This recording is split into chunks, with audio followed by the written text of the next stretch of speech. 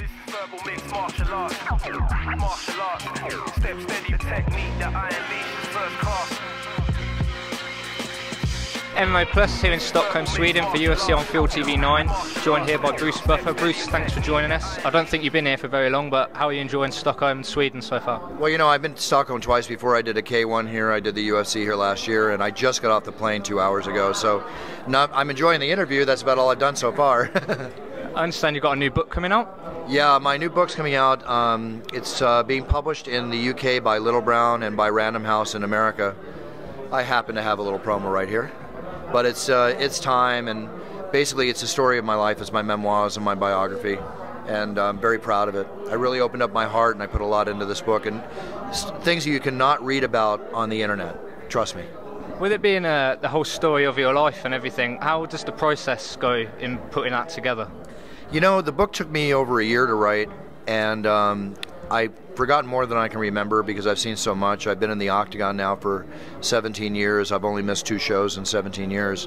And when we write the book, I realized that my memory banks opened up and all these incredible memories were coming back to me. But it's not, I'm not just telling you about fights. I don't, you can read about that.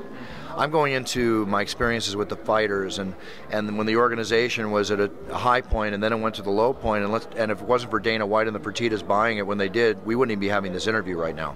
It'd be just completely underground. So there's many, many aspects of my life in this and I just felt that after all this time that I've been doing this, it's basically it's time I told you my story and how I got here. Speaking of your time spent with the UFC, the organisation, can you run through us again how you, you got into the organisation, obviously alongside your brother as well, who's known for all the work he's done in boxing? Yeah, well, my brother and I only met uh, about 24 years ago. Uh, we're long lost half brothers, and I saw him on TV and discovered he was my brother.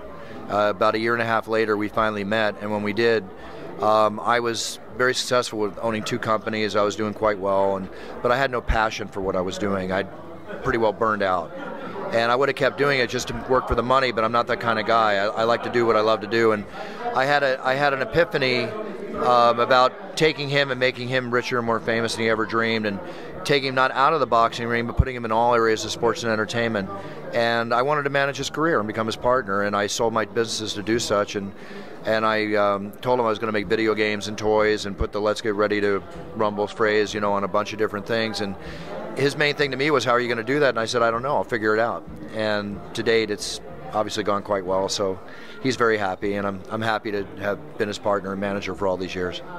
You say you saw him on the TV. Did you literally see him on the TV and think, there's a look about that guy that seems familiar to me? What really got to me was, and it's in detail in my book, but what really got to me was the Chiron, the, my last name Buffer on the screen, and it was Michael Buffer, and I thought, who's this pretty boy, you know, with the name Buffer? I, I've seen every phone book in the United States, and, and the, one of the first things you do is you look for your family name.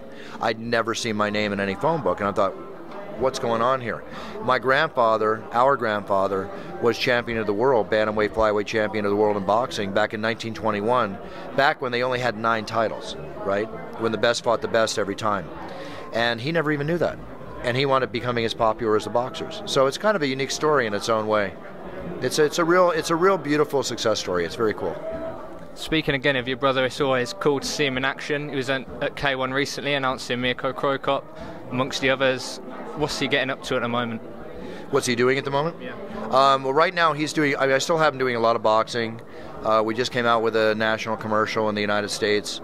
Uh, Michael had one of his busiest years last year. A lot of his work is in Europe. He's uh, very high in demand in Germany, and he comes here to the uh, he comes to the UK to do fights. And again, like you said, he was in Sweden, so um, he's working all the time. Said you played a big role in the, the Let's Get Ready to Rumble phrase. Did you ever expect that to have the impact that it's had? Yeah, I did. That's why I sold two businesses and went after it.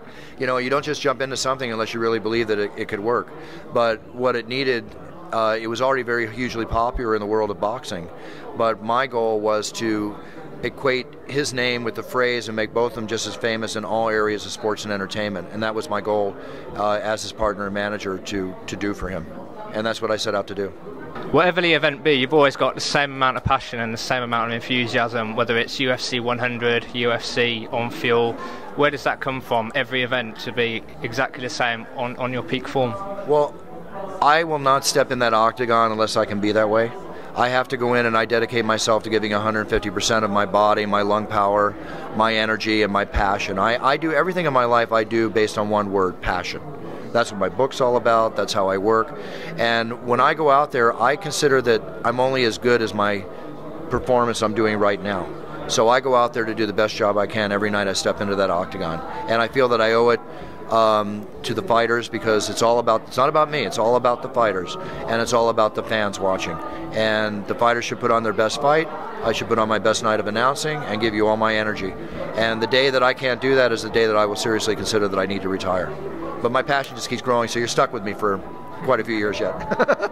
Speaking of your passions outside of the octagon as well, poker obviously, you're keeping active with that still, got a lot going on there? Yeah, I do. Um, you know, it's hard because I'm on the road so much because these tournaments I like to play, they take two, three, four, uh, the days, maybe even a week, 10 days sometimes, like in the World Series of Poker. But I just uh, final tabled uh, World Poker Tour table, and I just did really well in Montreal in the World Poker Tour main event. All the top pros from around the world came in, 1,273 players. And as of day three, I went out at 19th. I got 19th. First place was three quarters of a million dollars. Ooh, I was tasting it. It was there. I made money. Don't get me wrong. I'm happy, but you know, I'm, I'm, I'm a competitor. I want first place. I want to win. I like to win. I've got a friend who's pretty handy at poker himself. He'd quite like to face off against you. With being who you are, you ever handling call outs and that kind of thing? Wait, give me that again. Have you ever hand, have you ever been called out at the poker table sure. from being who you are? People oh, wanting to face Bruce Buffer. Called out to play poker. Called out to play poker. I've been called out for fighting. I've been called out to play poker. I've been called out. you know, I just look at it and say, "Great, I'll make you famous. Let's do it." You know. So you win most of these call outs. You know, if somebody says to you they win all the time, they're lying through their teeth. I will tell you that I'm a winning player, that I haven't lost in the last nine years as far as the tally at the end of the month, end of the year. But to say that I've never had a losing night, of course, of course. See, that's the thing. It's like a fighter getting knocked down to the canvas has got to have the wherewithal to get up and start swinging again, right? In business, you get knocked down, you got to get up and start swinging again. In poker, you get knocked down, but you can't let it affect the next night you go play. It's like if you do that, you're going to be gun shy, and I don't want to play gun shy. I want to play balls to the wall. So how did you get into all the poker? You seem to be pretty much on a pro level, that kind of thing.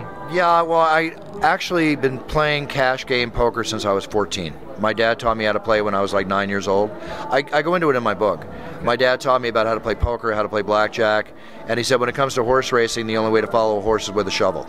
So I took his words, and I don't bet on horses, except maybe taking a girlfriend to the track once every couple years for a fun day.